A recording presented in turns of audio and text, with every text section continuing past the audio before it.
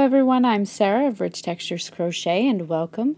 Today we're going to learn how to crochet the triad stitch, which you can see here in front of you. Now the stitch is the same on the front as it is on the back, making it great for a reversible project. It is an open work stitch, but it's one that has quite a bit of texture in it. So, uh, and these rows of single crochet make it fairly stable and strong. Today for this tutorial, I'm going to be using a little bit of Pima cotton yarn, as well as a 5 millimeter crochet hook. Links to both of these items can be found in the description of this video. Also in the description, you'll find a direct link to the free written pattern, which is on my blog at richtexturescrochet.com. So thank you so much for joining me while you're here. I invite you to say hello down in the comments and uh, to subscribe and take a look around. This channel is updated weekly with free crochet stitch tutorials and free patterns. Our stitch today is worked in rows, so we're going to start by making a slip knot.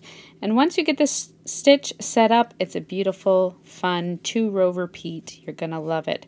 So the first thing we're going to do is start by chaining an even number of chains, any multiple of two.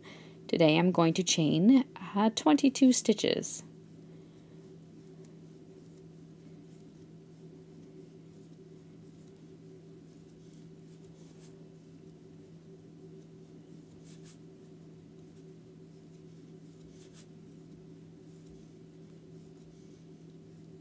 Once you have worked an even number of chain stitches, you're going to begin row one by working a single crochet into the second chain from your hook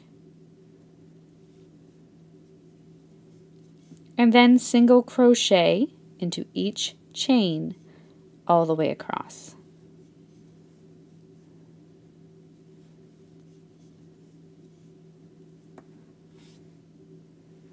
At the end of your row one, you're going to chain four, and this is going to count as a double crochet and a chain one space, and turn your work. You're now ready to begin working some of the triad stitches. So to work your triad stitch, you're going to yarn over, insert your hook into the next stitch, yarn over, and draw up a loop, drawing it up to the height of a double crochet. You're then going to repeat that twice more in each of the next two stitches. So yarn over, insert your hook into the next stitch, yarn over, pull it up to the height of a double crochet.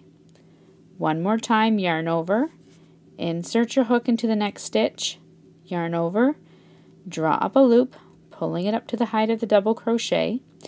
You're then going to have seven loops on your hook, yarn over, and pull through six of those loops until you have two loops remaining. You're then going to yarn over one more time and pull through both loops. That's your triad stitch. Chain one, and we're now going to repeat that all the way across, this time starting each stitch in the last stitch worked.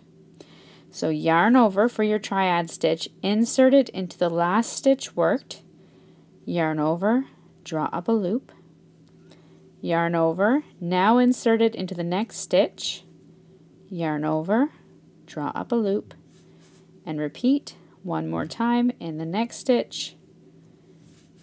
Once you have the seven loops on your hook, yarn over, pull through six loops, two loops remaining, yarn over, pull through two, and chain one. You're going to repeat that all the way across.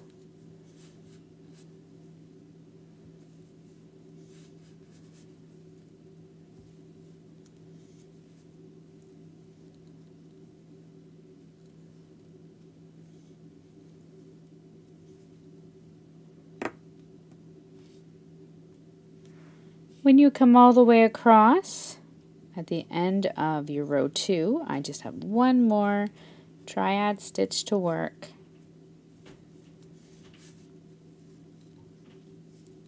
You're going to chain one and then double crochet into your final stitch.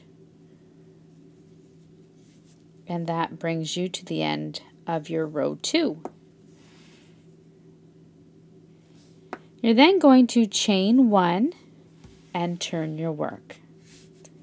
Now for row three, we're going to single crochet into that first stitch, so into the top of your double crochet, single crochet into the chain one stitch or space, and single crochet into the top of the next triad stitch.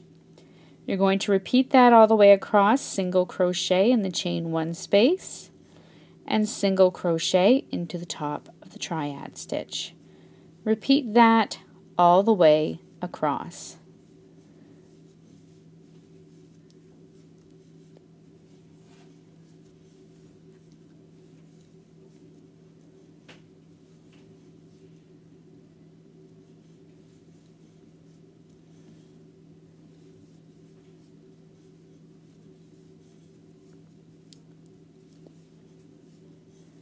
When you come across, you will have your turning chain 4 remaining.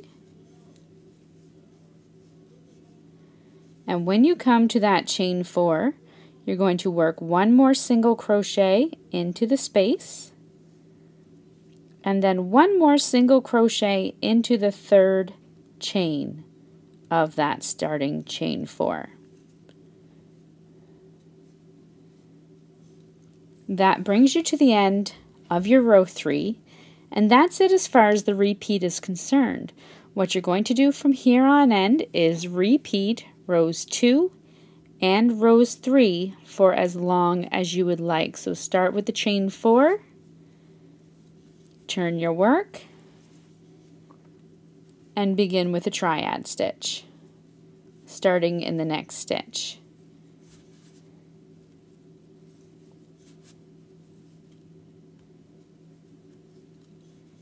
Chain one and then continue all the way across to where you'll work your final double crochet stitch chain one turn and repeat your row three.